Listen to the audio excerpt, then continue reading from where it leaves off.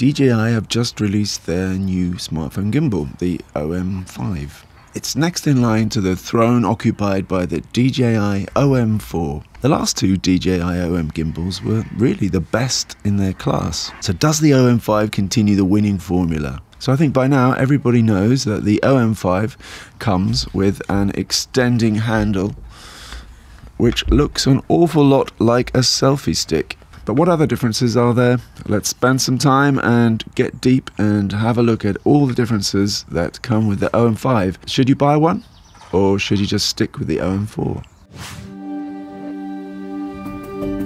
The design is sleeker and smoother, with some shiny metal parts to add more of a consumer electronics look to it. And I think this shows where the smartphone gimbal market is heading. Thing is, when smartphone gimbals first came onto the market, they were very much a niche market for smartphone filmmaking enthusiasts. But the look of the OM5 suggests this is moving further into the mainstream user market. The OM5 uses the same magnetic clamp, but this time there's no option to stick it directly to your smartphone, so presumably not enough people enjoyed that option to make it worth repeating. Both the OM4 and OM5 have the same strength motors. They can carry a smartphone plus extras weighing 290 grams or less. One major change is that the battery is much less powerful. Whereas previous models lasted up to 15 hours, the OM5 battery lasts about six and a half hours. And that's because the handle extension takes up the space in the handle needed for a bigger battery.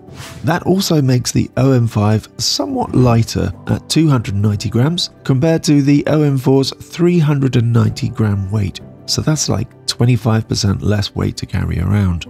The OM5 is also designed to fold smaller, this means you now can't fold up the gimbal with the magnetic clamp still in place, whereas on the OM4 you could leave it there if you wanted. So personally I usually do leave it on because that makes getting set up a bit quicker. You don't have to hunt around in your bag for the clamp. Note also that the end of the gimbal arm fits snugly into this new notch in the handle, and this notch also makes the handle a little bit easier to grip. The power on or M button is now located at the side of the gimbal, Instead, a new button has been introduced at the front for switching camera orientation. So one tap switches from rear to selfie camera and vice versa. Two taps switches the gimbal from portrait to landscape or vice versa. The handle is thinner than the OM4 handle, but it's just as long, so it doesn't make any difference to big hands. It also looks a bit less like the grip of a handgun, which we might guess is to make it more multi-gender friendly, as well as making it smaller when packed away.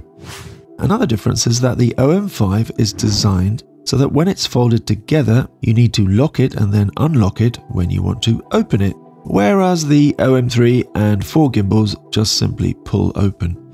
The magnetic clamp is exactly the same size as the OM4 clamp. The only difference is that OM is now embossed on the rubber instead of DJI. The previous two versions of the Osmo mobile gimbal had a touch sensitive control stick, and this meant that you could press the control stick softly and get a slower pan, so you could kind of control the speed of the pan or tilt by how much you pressed the control stick. Uh, it was a little bit tricky to use, but still, it was possible if you wanted to do that. But as soon as I used the OM5 control stick, I noticed it now has a definite click when you move it. So it's no longer touch sensitive, it's either moving the gimbal or not. The Mimo app was already on my phone because I already have a number of DJI devices which I use it for. However, when I tried to connect, it kept saying device not found. I could even connect directly with Bluetooth from my phone, but not through the Mimo app. So I checked the app and it said that I had the latest version, but then it turns out I needed to uninstall the app and then go back to the App Store again and install it again. This way, it made sure I had the latest version, which is 1.6. So to use the OM5, you must have the version of the app 1.6 or later. Once I had the latest version of the Mimo app, it connected fine. I had to go through all the usual permissions and newbie messages. The first thing I spotted in the app is the addition of HDR10. So this means you can now shoot Dolby Vision with your iPhone 12 and the Mimo app. However, it seems it cannot shoot Dolby Vision at 4K and 60 frames per second. Whereas the iPhone itself, just using the native app, can shoot Dolby Vision at 60 frames per second 4K. Well, at least on my 12 Pro Max anyway. On my Samsung Note 20 Ultra, when I go to the Play Store and check to see if the Mimo app needs updating, it says the app itself was last updated by the developers in November 2020, and that's only version 1.5.4. But then on the DJI website, it says version 1.6 is available for both iOS and Android. So I uninstalled DJI Mimo from my Samsung and then just downloaded it directly from the DJI website. And now I have the latest version of the Mimo app on my Android device. Again, I found that the Android version of the app does not have all the features contained in the iOS version. There's still no manual control, and the new HDR10 mode is also not available, even though the Note 20 Ultra can shoot HDR10 Plus. But the good news is that the new shot guides feature is available, and I'm sure that DJI made sure of that because they are really pushing the shot guides as a reason to buy the OM5. Also, on the DJI website, it says that the OM5 has Active Track 4.0, whereas the OM4 has Active Track 3.0. And it also says shot guides are available only for OM5. So, does this mean that the two gimbals use a different version of the app? So, that's something I will investigate later in the video. So those are the main differences between the OM5 and the OM4. So now I'm going to quickly run through the setup of the OM5 gimbal if this is your first time using it. So if you're new to DJI gimbals, the first thing you need to do is install the DJI Mimo app onto your smartphone. And if you're coming from the OM4 or other devices, you might want to delete and reinstall the Mimo app to make sure you have version 1.6. Now next, unfold the gimbal, so you need to swivel the top about 180 degrees first as this locks the gimbal in place. So make sure it doesn't slip around as you're trying to unfold it, because basically it unfolds on the silver hinge. So just be careful not to pull it the wrong way and to do something nasty to your gimbal. The hinge itself is on a spring, so once it's open, it just locks into place without you needing to do anything. So at this point, you might find it easier just to quickly screw the mini tripod base into place. It just makes it easier to mount the phone this way. Now take the magnetic clamp and slip it over your smartphone. This is quite a big phone and it fits easily, so no problem with the clamp. Just make sure that the camera symbol is on the top of the phone and your phone's camera is placed on the left. Just follow this arrow. So the magnetic clamp should just snap into place, but you need to align the notch on the gimbal with the opposite part of the jigsaw, so to speak. So there's a small white dot on both, so let you know you have it in the right place. Next step is to power on the gimbal. Like the OM4, it always boots up with the phone in portrait orientation. Now boot up the Mimo app and follow the instructions to connect the gimbal. It should show you a message saying the gimbal has been found, so just tap connect.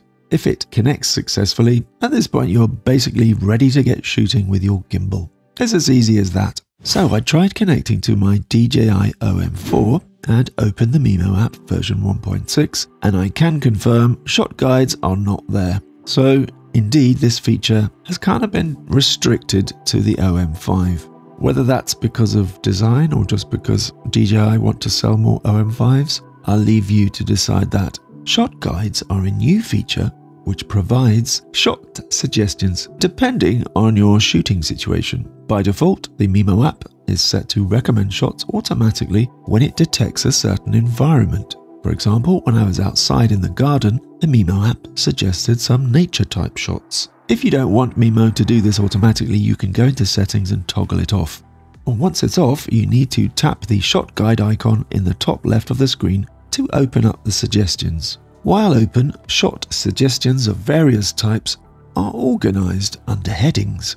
There's park, nature, beach, city, lifestyle, food, and home. There's also subheadings under each of these. For example, park has couple, picnic, and trip as subheadings. So choose a shot by clicking apply. Now the shot suggestion will sit in the left side of the screen, playing in a loop. In one screen, there is the shot suggested, and in the other screen, a demonstration of how to carry out the shot. And now when you apply any of these shot guides, Mimo switches to the appropriate gimbal mode. In this suggested shot, for example, you can see the camera spinning, and so Mimo switches you into spin shot mode. And, you know, that's pretty cool. At the same time, you'll now find you can't use the M button to change modes. To get access to the mode button again, you need to close shot guides completely. When it's opened out like this, there's more headings and subheadings. For this shot in particular, the couple subheading has now become the main heading. And now I can swipe through all the subheadings that match shots to do with couples. That said, I don't see too many couples in these shots. They seem to be all about a guy with a gimbal filming his partner, or no people at all. Some shots are very specific. For example, this shot is called Wave Hand and shows a guy filming a girl on a carousel waving her hand. The next shot along is called Couple Interaction, and I'm afraid it's not what you might be hoping for. In this shot, the girl beckons the guy towards her, raising her hand, and then the shot cuts. So it's a bit of a cliffhanger, I guess, and it's left to our imagination what happens next. Anyway, you can play around with those and explore. There's quite a few shots to choose from. So, when you've had enough of that, click the back arrow to get back to the full shot guide screen. And then just to close that, you just tap the X there in the left corner. Another setting in the Mimo app, which I think is new, is the Auto FT, and FT stands for Face Track, when using the selfie camera. If this is switched on, when you use the selfie camera, it will automatically search for your face and start tracking. So finally, let's look at this selfie stick. One of the unique features of the OM5 is that it comes with an extending handle. It's actually not the first smartphone gimbal with this feature, but it is unique amongst the Osmo mobile range. So is this a good thing? Is it useful? Let's find out.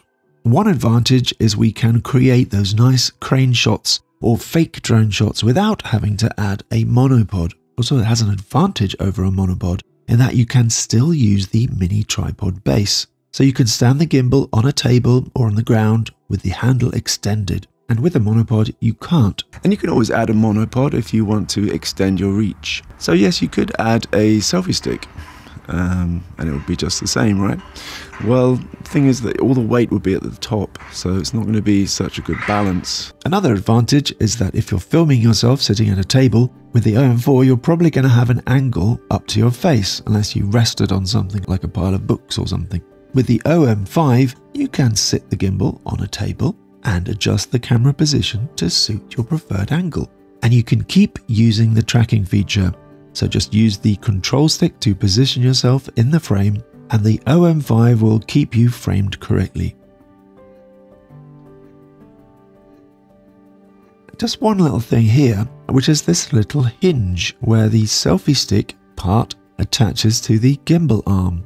When you push the arm back into the handle, it sits at a slight angle, so just make sure it's at this angle when you lock it. Another thing I noticed is that when the gimbal handle extension is kind of folded away and you have the gimbal sitting on the tripod base, the bottom motor is now at this slight angle. And if you try to pan left and right, it's not quite as smooth as when this bottom motor is level with the horizon. So if you're using the gimbal resting on a flat surface and you want to be able to pan smoothly, and that includes using the tracking feature, I would just make sure the arm is at least extended a little bit and the bottom motor is level with the surface. And actually, even when holding the gimbal in your hand, you might find it moves smoother with the motor just popped up a little and leveled out there.